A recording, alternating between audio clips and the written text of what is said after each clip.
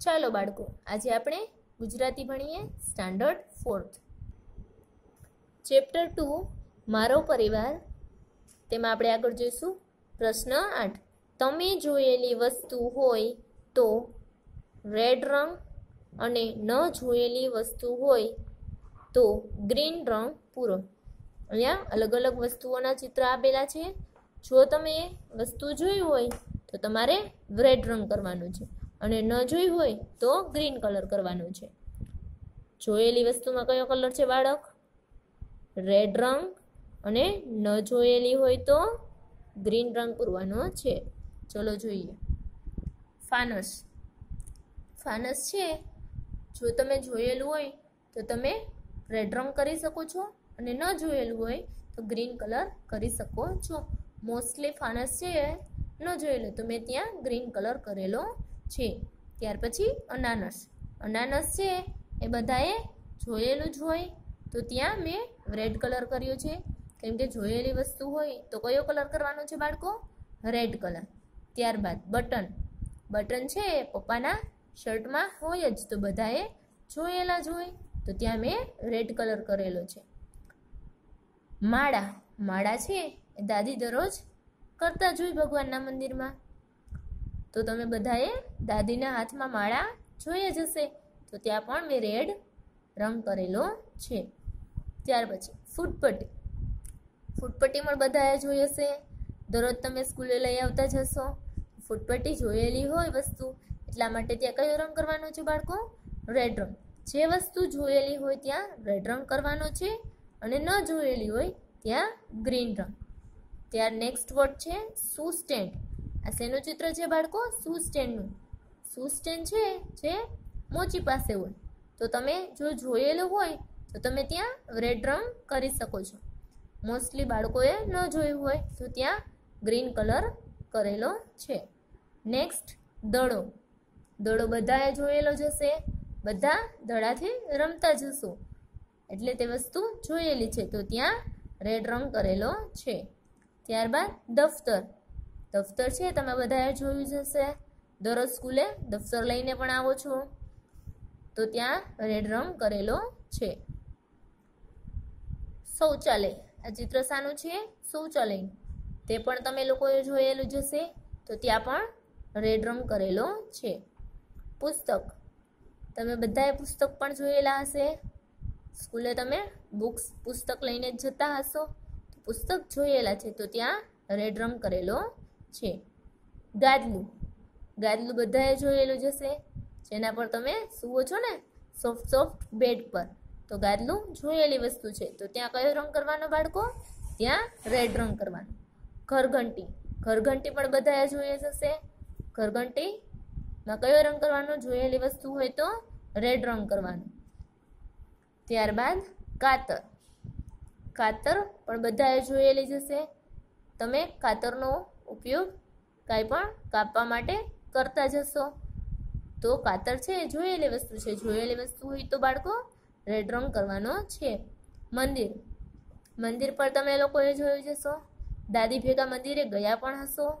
તો મંદિર જોયેલું હોય તો ત્યાં રેડ રંગ કરવાનો છે.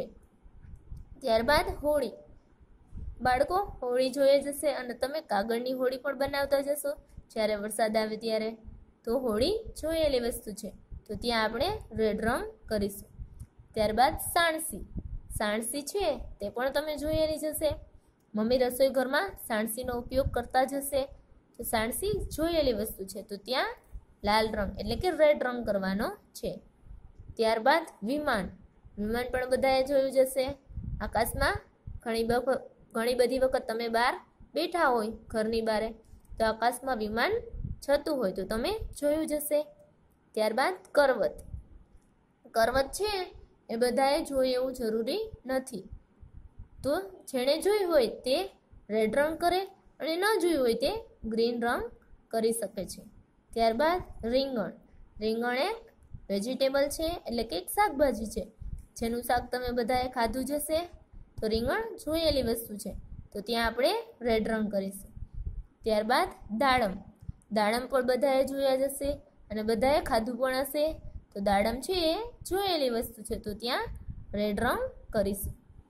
ત્યારબાદ દીવાદાંડી દીવાદાંડી છે તે જોયેલી ન હોય અને જેણે જોયેલી હોય તે ત્યાં રેડ રંગ કરી શકે છે. ન જોયેલી હોય તે ત્યાં ગ્રીન રંગ કરી શકે છે. ત્યારબાદ સાયકલ. સાયકલ તો બધા પાસે હશે જ અને સાયકલ જોઈ પણ જ હશે. તો સાયકલ જોયેલી વસ્તુ છે, તો ત્યાં આપણે રેડ રંગ કરીશું. ત્યાર પછી નેક્સ્ટ વર્ડ શું છે બાળકો? આ શાનું ડ્રોઈંગ છે? હથોડી. હથોડી છે તમે જોઈ હોય તો તમે રેડ રંગ કરી શકો છો અને ન જોઈ હોય તો તમે ગ્રીન રંગ કરી શકો છો. ઘંટ. ઘંટ છે એ દરરોજ તમે જોયો જોઈ શાળાએ જતા હશો તો શાળામાં એક ઘંટ હોય જ છે. જ્યારે તમારો લેક્ચર પૂર્ણ થાય ત્યારે તે ઘંટ વાગે અને લેક્ચર બદલી જાય. તો ઘંટ જોયેલી વસ્તુ છે. તો ત્યાં આપણે રેડ રંગ કરીશું. બાળકો અહીંયા આપણે આ બધી વસ્તુઓ છે, જે વસ્તુઓ જોયેલી હોય ત્યાં શું કર્યું છે? રેડ રંગ અને ન જોયેલી હોય ત્યાં ગ્રીન રંગ કરેલો છે. પ્રશ્ન નવ. ચિત્ર ઓળખીને નામ લખો. અહીંયા અલગ અલગ ચિત્ર આપેલા છે. તેને ઓળખીને તેના નામ લખવાના છે. બાળકો, આ શાનું ચિત્ર છે? આ ચિત્ર છે ચક્રનું તો અહીં લખેલું છે ચક્ર. આ ચિત્ર શાનું છે બાળકો? આ છે છત્રીનું. તો આપણે અહીંયા લખીશું છત્રી. આ ચિત્ર શાનું છે? આ ચિત્ર છે ત્રાજવું. તો આપણે અહીંયા લખીશું ત્રાજવું.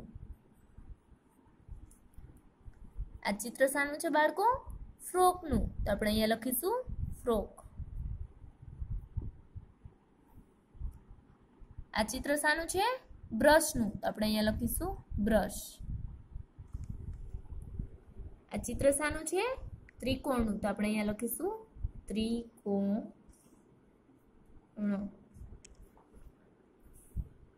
આ ચિત્ર શાનું છે? આ ચિત્ર છે ત્રિશુલનું. તો આપણે અહીંયા લખીશું ત્રિશુલ. જુઓ બાળકો, અહીંયા અલગ અલગ ચિત્ર છે એના નામ લખ્યા છે. ચક્ર, છત્રી, ત્રાજવું ફ્રોક બ્રશ ત્રિકોણ અને ત્રિશુલ થેન્ક યુ